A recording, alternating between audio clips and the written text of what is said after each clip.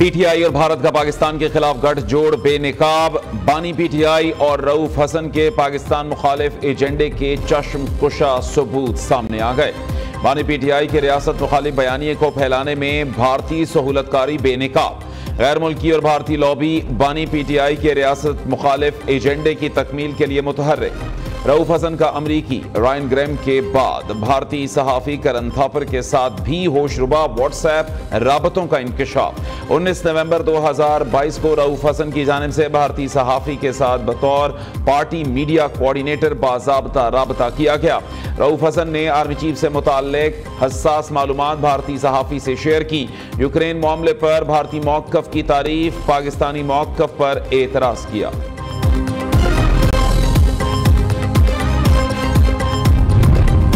पाकिस्तान में खूनी इनकलाब की बातें, भारत की मुहिम जोई की दावत हैं। रऊफ हसन के इंतहाई खौफनाक इनकशाफात पाकिस्तान मुखालिफ बात का इंदिया है। करन थापर से रऊफ हसन की खुफिया बातचीत, कोई मामूली मामला नहीं। करन थापर, कोई मामूली शख्स नहीं, बल्कि इंडियन रॉ के इंतहाई करीब समझा जाता है। आई एम एफ़ को पाकिस्तान मुखालिफ खतूत से भी पी टी आई के मुल्क दुश्मनी वाज है। दिफाई माहरीन ने मुतालबा किया और सबूतों के पेश नज़र रऊफ हसन और सहूलतकारों के खिलाफ तहकीकत होनी चाहिए।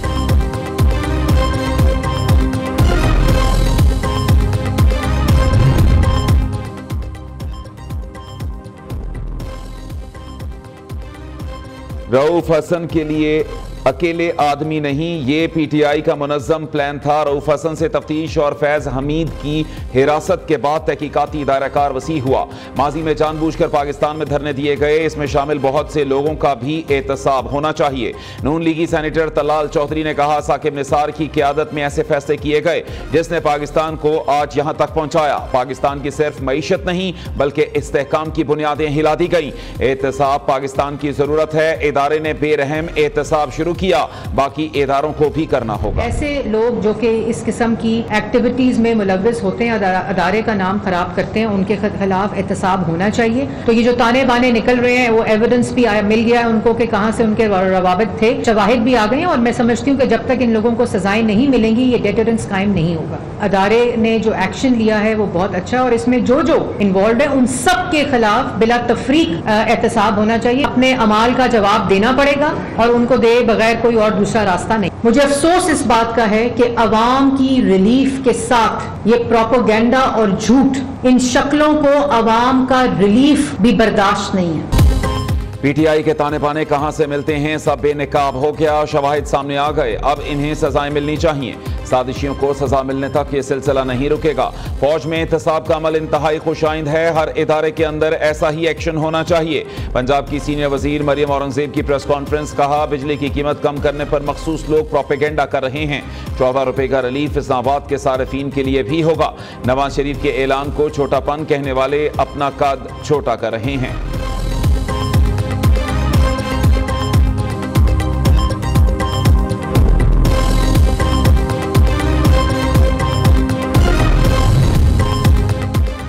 पंजाब में बिजली सार्फिन के लिए फ़ी यूनिट चौदह रुपए सस्ता करने का ऐलान। दो सौ यूनिट वाले सार्फिन को रिलीफ नहीं मिलेगा। सूबाई हुकूमत का पाँच बिजली तकसीम कार कंपनियों को एडवांस अदायगी करने का फैसला। डेस्को से रिलीफ पर रकम का तखमीना मांग लिया। फ़ी यूनिट चौदह रुपए रिलीफ का इतलाक दो सौ एक से पाँच सौ यूनिट पर होगा। बिजली के टैरिफ में रिलीफ का इतलाक अगस्त और सितंबर दो हज़ार चौबीस के बिल्स में होगा। सिंध में भी चौदह रुपए फ़ी यूनिट बिजली सस्ती की जाए। गवर्नर कामरान टिस्सोरी का पंजाब की तर्ज पर बिजली सस्ती करने के लिए सूबाई हुकूमत को खत लिखने का इंदिया। प्रेस कॉन्फ्रेंस करते हुए कहा, सिंध के आवाम को बिजली बिल्स में रिलीफ ना मिला तो एहसास से महरूमी पैदा होगा। बिजली सस्ती करने से मुतल वज़ीर अला मरीम नवाज़ का ट्वीट दुरुस्त है। अंदरून सिंध में बारिश से मुतासर इलाकों में राशन बैग रवाना कर रहे हैं। अरशद नदीम को दिए इनामात में एक रुपया भी सरकार का नहीं था।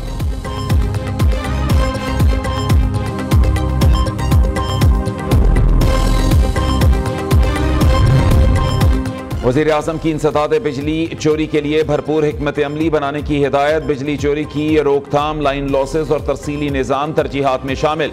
शहबाज शरीफ का पावर डिवीज़न के इजलास से खिताब कहा, बिजली तरसील की नई इंतजामिया से डेस्कोस की कारकर्दगी बेहतर होगी। डिस्ट्रीब्यूशन कंपनियों में मौजूद करप्ट अनासर से सख्ती से निपटा जाए।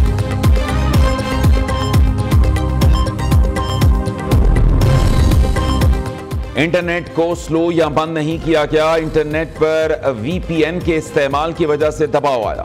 प्राइमरी स्कूल से बच्चों को कोडिंग स्किल्स की तरबियत का अमल शुरू करने जा रहे हैं।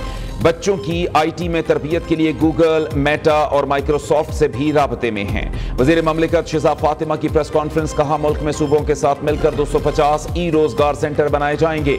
कोरिया की मदद से आईटी पार्क बनाए जा रहे हैं। इस्लामाबाद का आईटी पार्क दस हज़ार से ज़्यादा नौकरियाँ पैदा करेगा। शकील खान साहब को मुरद इल्ज़ाम ठहराया गया। कमेटी के मुताबिक वो मुलविस पाए गए हैं। कुछ लोग जो इमरान खान साहब से जेल में मिले उन्होंने जेल में मिलकर इमरान खान साहब से शिकायत की कि खैबर पुख्तनख्वा के बाद महकमों में करप्शन हो रही है। आतिफ खान साहब थे असद कैसर साहब मेरे ख्याल में वो भी थे और शायद एक दो और, और लोग थे। उन्होंने मुलाकात की जब खान साहब ने पूछा और बात हुई तो उन्होंने उनको हुक्म दिया कि आप जाए और इस सिलसिले में खैबर पुख्तनख्वा में आप प्रेस कॉन्फ्रेंस करके मेरी तरफ़ से ये पैगाम दें तमाम वजरा को भी और तमाम अफसरान को भी कि मैं किसी सूरत में भी करप्शन को बर्दाश्त नहीं करूँगा ज़ीरो टॉलरेंस पॉलिसी होगी। शकील खान के खिलाफ जो शिकायत थी, वो उसमें मुलवस पाए गए। तर्जुमान खैबर पख्तूनखा हुकूमत बैरिस्टर सैफ का मुस्ताफ़ी वज़ीर पर इल्ज़ाम। कहते हैं, कुछ लोगों ने पानी पी टी आई से सूबे में करप्शन की शिकायत की। आतिफ खान और असद कैसर समेत कुछ लोगों ने पार्टी सरबराह से मुलाकात की। बानी ने मुस्ताफ़ी वज़ीर शकील खान को करप्शन के खिलाफ ज़ीरो टॉलरेंस पॉलिसी का ऐलान करने की हिदायत की। बैरिस्टर सैफ का बाईस अगस्त को इस्लामाबाद में जलसे का ऐलान।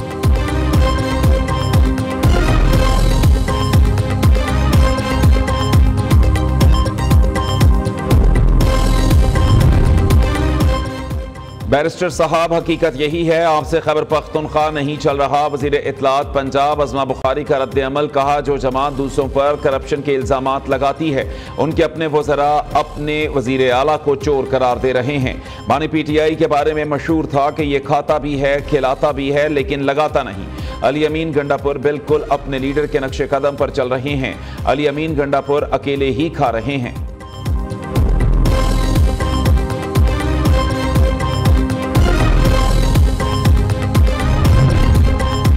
नवाज़ शरीफ और मरीम नवाज़ से बरतानवी हाई कमिश्नर की मुलाकात, तालीम, सेहत, मौसमियाती तब्दीलियों और दीगर अमूर पर तबादला ख्याल। नवाज़ शरीफ की आई टी सिटी में बरतानवी इदारों को सरमाकारी की दावत, बरतानवी हाई कमिश्नर को पंजाब में सोलर पैनल प्रोजेक्ट से भी आगाह किया गया। वज़ीर अला मरीम नवाज़ ने कहा कि पंजाब डिजिटलाइजेशन के दौर में दाखिल हो चुका अनकरी पंजाब लीड करेगा।